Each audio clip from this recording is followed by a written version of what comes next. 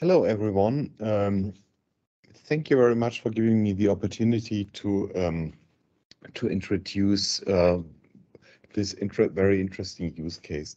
So uh, what you can expect from the next few minutes is that I will introduce you to the um, possibility to set up the um, edge uh, locally through uh, through a UI.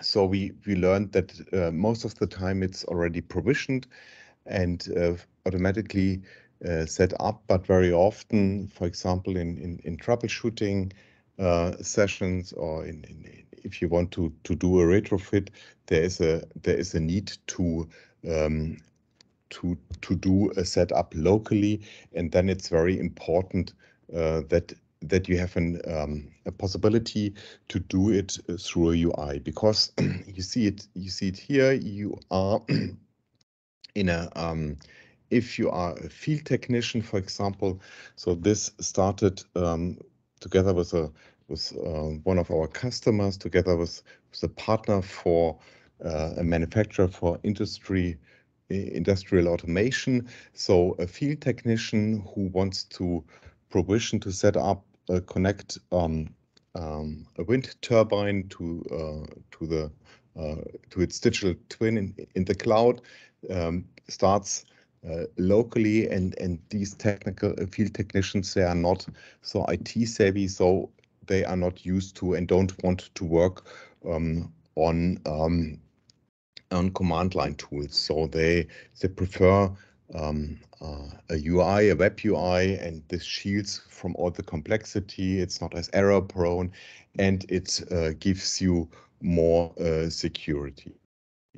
So what I will uh, show you um, a, a, play of, of, of, a field technician who is in, in the process of setting up um, their, um, their local thin-edge through a management UI, which you can see here.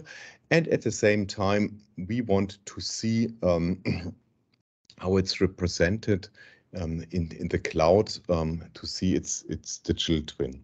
So what you see here is uh, the, um, the device management of, um, IoT. Besides it, it offers a lot of other capabilities. What we concentrate on for the moment is the device management. So um, the aspects of, of uh, registering a, a, device and see the process data as it as it comes in.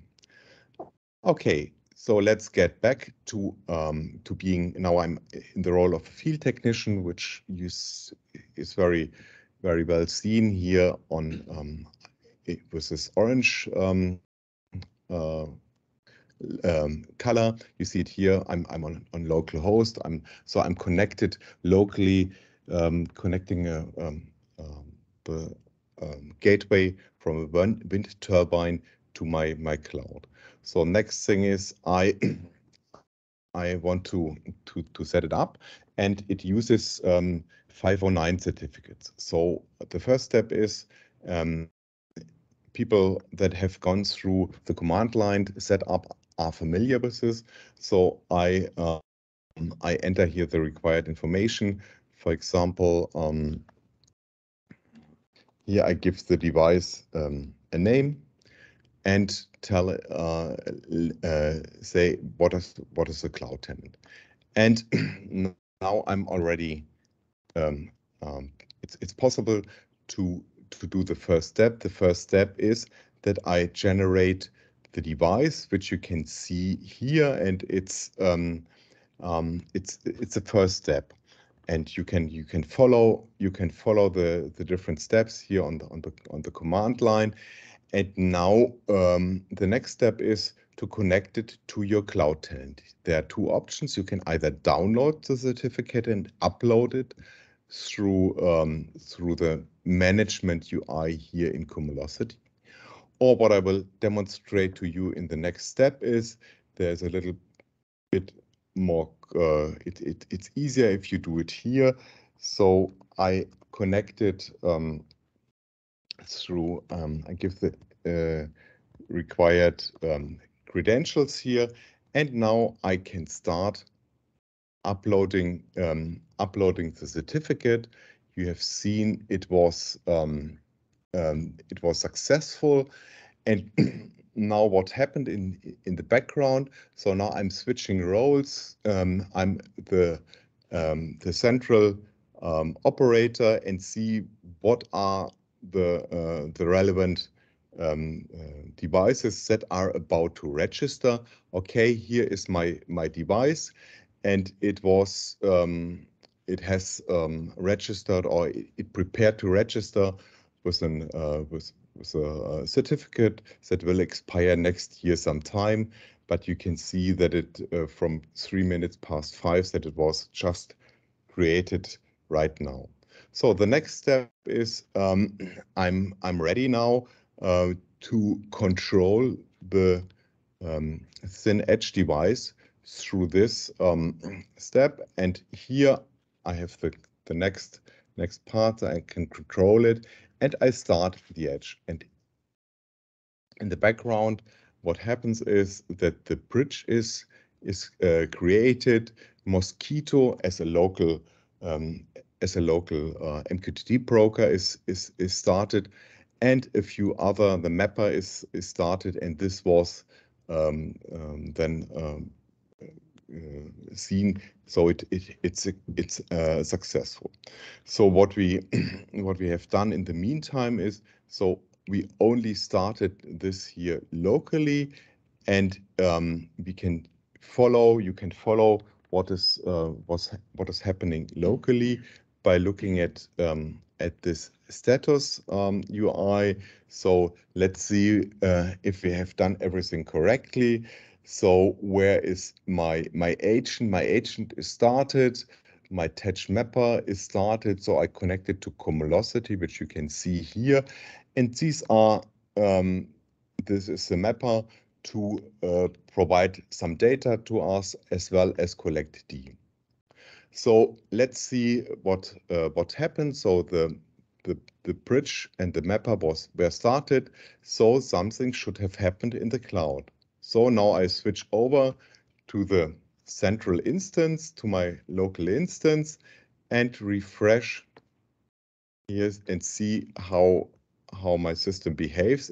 And you can see um, it's five minutes past uh, five and our new device has registered. And we see that um, that um, already some some measurements are, um, already sent sent across to to the cloud. And what might be another use case is that you that you control the configuration or that you con that that you request logs. Before this is possible, I have to go back here to the to the local uh, instance and restart uh, the plugins. So my plugins for for enabling interaction for configuration management and log requests uh, have been started, um, and you can follow uh, this here nicely. Um, so everything works fine.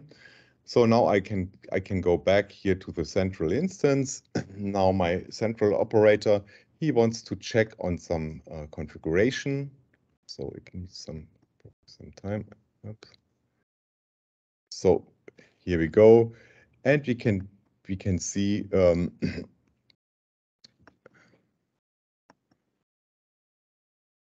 what is available uh, down here. Um, and as well, the next step is you can you can request, for example, a log file, see what is what is happening in, for example, in the log.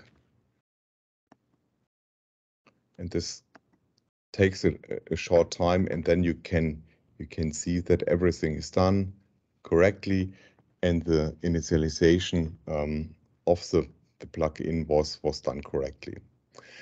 Um, one aspect is that you can see, visualize the, the uh, measurements as they come in, in in the cloud. But in the meantime, so for, for example, one use case that we learned from this um, this business case that I mentioned earlier was um, there there is a period when the local gateway is not connected to the cloud, but the actors and sensors are already connected, and you might have an interest to see what is what is happening. Um, and that is that is possible here through this uh, second part. So where you uh, where you can take a look at um, at your uh, at your measurements as they as they come in. So these are um, so it takes a short while until this initializes. Uh, I can. No, this is not behaving as as expected. Let's take a short look. Start, everything is started.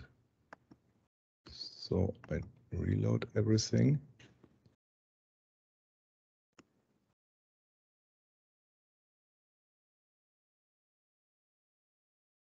No, okay, what I will do is I will stop, give it a second chance. I stop the edge. Stop the edge and start it again.